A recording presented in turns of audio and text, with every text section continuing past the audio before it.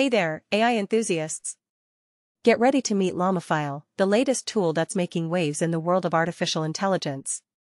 Developed by Mozilla's Innovation Group and Justine Tunney, Llamafile is here to revolutionize the way we run large language models, LLMs, on our computers. With Llamafile, you can now have the power of LLMs right at your fingertips.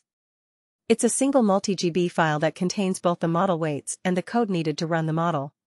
No more hassle of dealing with multiple files or complicated setups. Llamafile makes it super easy and convenient to unleash the potential of LLMs on your own computer. One of the great things about Llamafile is its versatility. It supports various models and can even analyze images.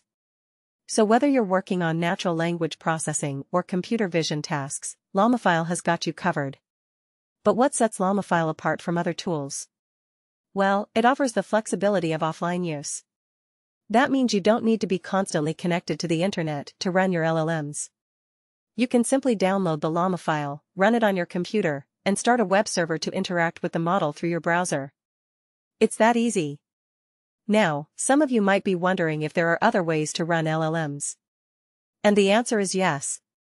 Some users in the comments section have suggested using GPU acceleration or other tools like LM Studio.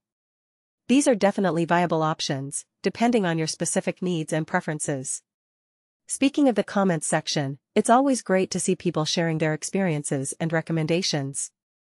Some users have shared their hardware specifications, giving insights into what works best for running LLMs.